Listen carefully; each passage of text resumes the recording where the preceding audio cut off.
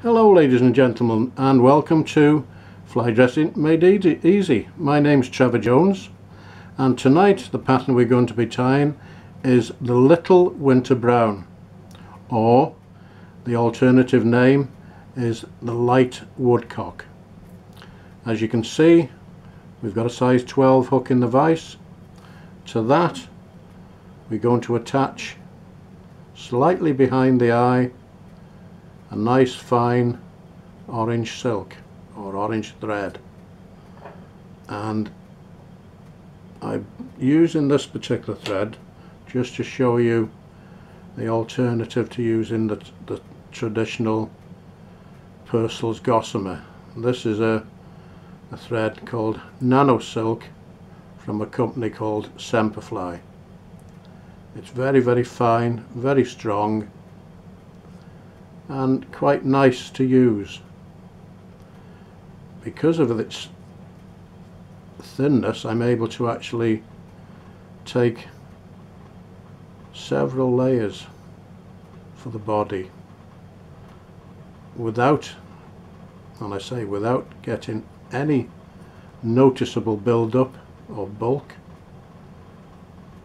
and I'm looking for a nice deep rusty shade so I'm taking two turns and I'm going to come back and I'm taking a third layer to give us that nice rich orange colour.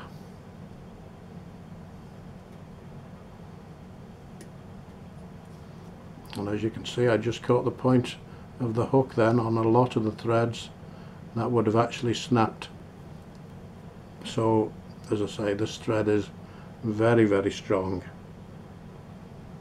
Okay so we need to put a little bit of wax on the thread and then we need the tiniest tiniest amount of fur off a hare's ear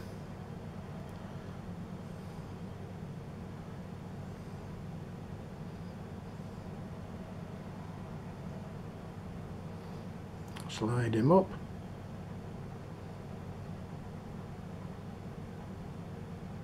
Don't worry if you put too much on and you get to the to the eye and you find that you've got too much. Don't worry take it off. We've actually not dubbed that wonderfully well. But as you can see we're getting that nice wispy effect. We could do with a little bit more actually there. Just a tiny, tiny amount. Just, as I say, we were a little bit short of fur there, so it's a simple matter of putting a little bit more on. Now that looks a little bit better. There we go as you can see we've got lots of straggly bits but the underbody showing through nicely. So the hackle. Well the hackle is woodcock. And as you can see I've taken the fibres off one side of the stem leaving the others. This is what the feather looked like originally yeah so as you can see I have prepared it and we've got the little tuft which we're going to actually dispense with mostly. And that's what we're going to place in that spot there. There we go. And we're going to wind that towards the eye being careful not to actually overlay the previous turn of hackle otherwise it will flatten the hackle out. And oops. And if it flattens the hackle out it, it lays lays down too much and you don't get that flared effect. So you want two, two and a half turns, no more.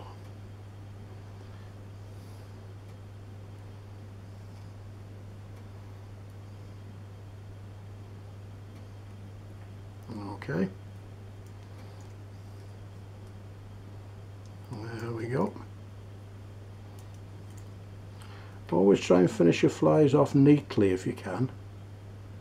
It probably doesn't make the slightest difference to the fish. And as I found over the years, sometimes the scruffiest looking creations are the ones that actually do the most damage as regards catching fish. But certainly if you want to people to look in your box and admire what you've made, it's it's it's as well to finish them off neatly and there's I've seen so many flies. Really really well tied. And yet because they've been finished off sort of untidily they don't look their best.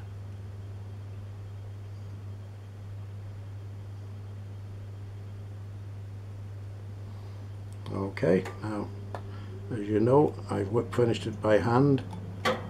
So tighten it up and little tip I think I've shown you previously put tension on the thread and then when you actually cut that thread the tag end disappears under the turns of whip finish and the hook will actually spring back upwards like just like that. So there we have it the little winter brown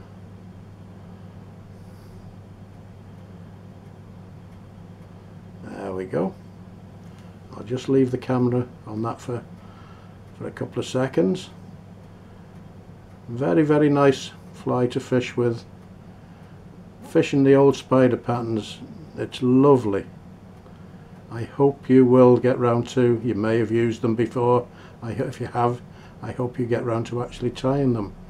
And this is one of the older, lesser known patterns probably, but very, very effective. So, ladies and gentlemen, thank you for watching. I hope you enjoyed it. Well, I hope you enjoyed as much as I enjoyed filming it. And I'm going to say good night to you all, and thank you very much.